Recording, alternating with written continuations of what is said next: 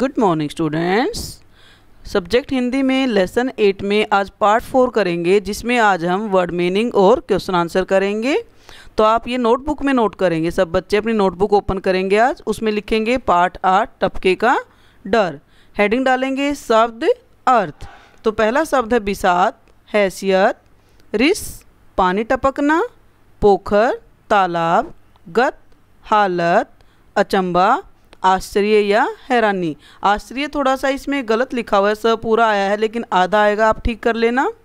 आगे हेडिंग डालेंगे, प्रश्न उत्तर। ये प्रश्न भी दूसरे तरीके से लिखा हुआ है तो आप अपनी बुक के अकॉर्डिंग लिख सकते हैं, जैसे बुक में दिया हुआ है।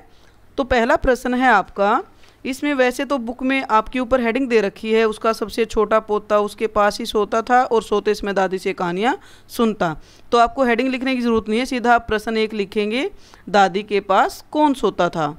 तो उत्तर लिखेंगे आप, दादी के पास उनका सबसे छोटा पोता सोता था। नेक्स्ट है प्रश्न दो, दादी पोते को कौन सी कहानियाँ सुनाती थी?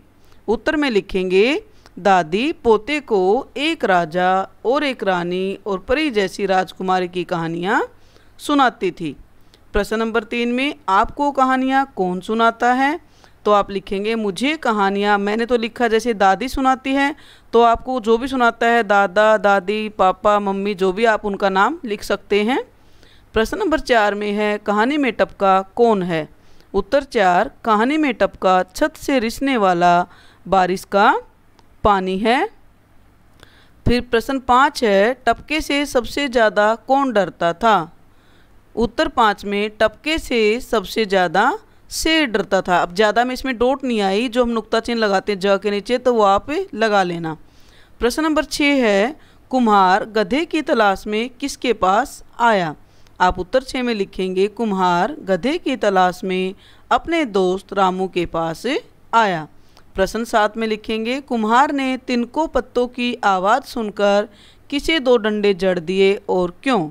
उत्तर लिखेंगे, कुम्हार ने तिनको पत्तों की आवाज़ सुनकर शेर को दो डंडे जड़ दिए और क्योंकि उसने अंधेरे में शेर को अपना गधा समझ लिया था।